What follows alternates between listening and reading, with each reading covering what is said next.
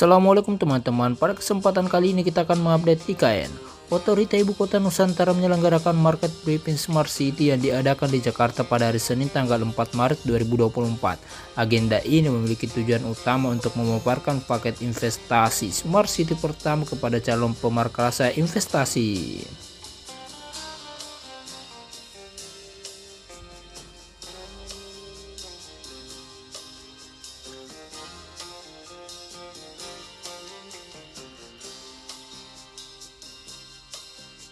Deputi Bidang Transformasi Hijau dan Digital Otorita IKN Bapak Muhammad Ali Berawi mengatakan kegiatan ini dirancang untuk menyajikan rincian teknis dan skema pendanaan investasi akan mendukung transformasi IKN menuju kota cerdas. Kami memahami kompleksitas dalam membangun smart city, membutuhkan kekuatan kolaboratif yang besar. Kami ingin membuka potensi kolaborasi dalam mewujudkan smart city pada kesempatan kali ini, ujar Pak Ali.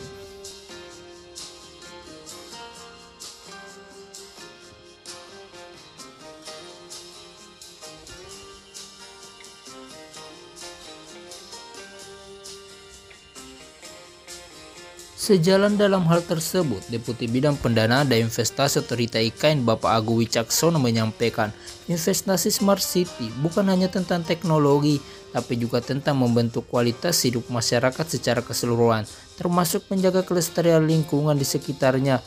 Melalui kegiatan ini, harapannya para calon pemarkarsa investasi dapat melihat potensi besar dalam keempat paket investasi yang ditawarkan, ujar Pak Agung.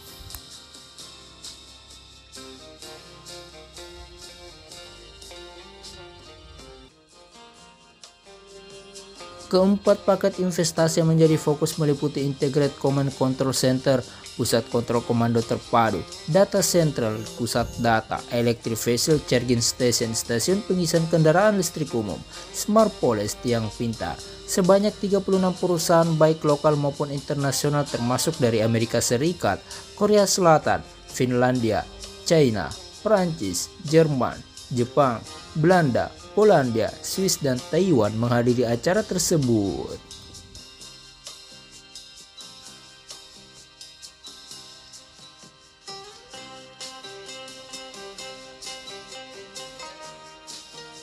Partisipasi perusahaan-perusahaan tersebut menunjukkan antusiasme yang tinggi dalam investasi untuk mewujudkan visi Smart City di ibu kota Nusantara, Imbuh Pagu.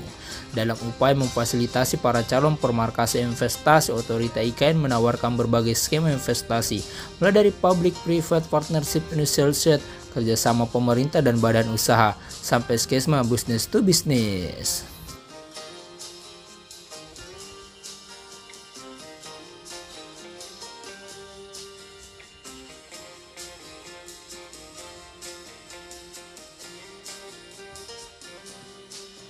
Lewat market briefing Smart City kami mengajak para pemangku kepentingan untuk bersama-sama berkontribusi dalam mewujudkan ibu kota Nusantara sebagai kota cerdas yang berkualitas dan berdaya saing tinggi pungkas pagu.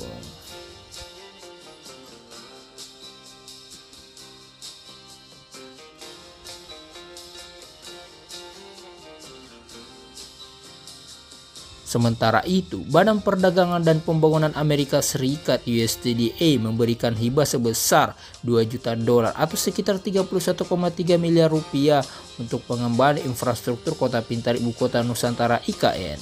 Kami akan memberikan dana hibah kepada otorita ibu kota Nusantara untuk bantuan teknis yang akan mengembangkan desain rinci spesifikasi teknis, dokumentasi pengadaan, dan strategi peningkatan kapasitas guna mendukung pengembangan infrastruktur prioritas Kota Pintar Nusantara, kata Direktur USTDE Enote Ebong saat konversi pers di Jakarta pada hari Kamis tanggal 7 Maret.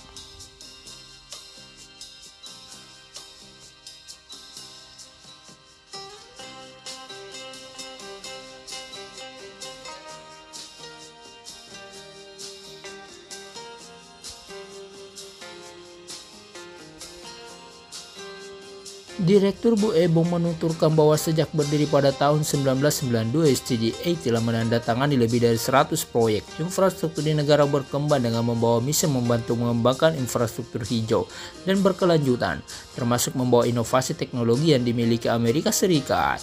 USTDA membantu dari segi persiapan proyek dengan memberikan analisis komprehensif yang diperlukan untuk proyek infrastruktur prioritas dalam mencapai pembiayaan dan implementasi, termasuk membangun kemitraan dengan para pelaku industri Amerika Serikat yang akan berbagi pengetahuan, membangun hubungan dan menemukan solusi AS untuk tantangan infrastruktur yang dihadapi.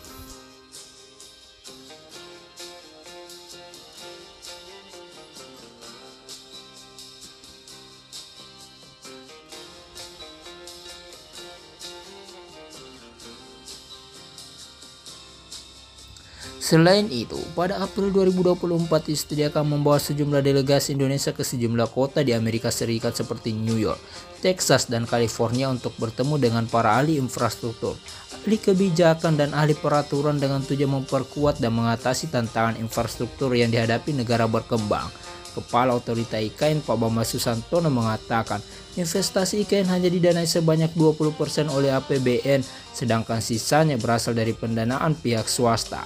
Ia juga mengungkapkan pembangunan IKN membutuhkan banyak pengetahuan termasuk dari Amerika Serikat yang terdepan dalam teknologi.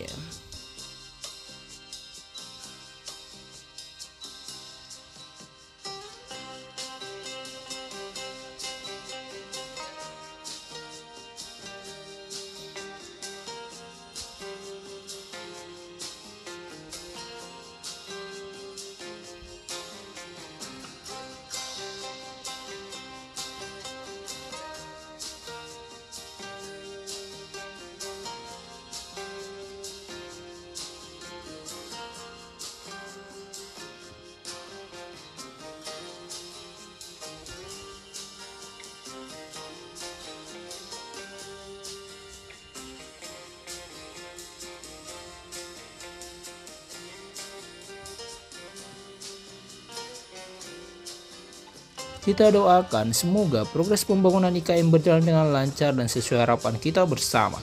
Cukup sekian kali ini pembahasan kami. Jangan lupa like, subscribe, komen, serta share video kami. Terima kasih dan sampai jumpa lagi.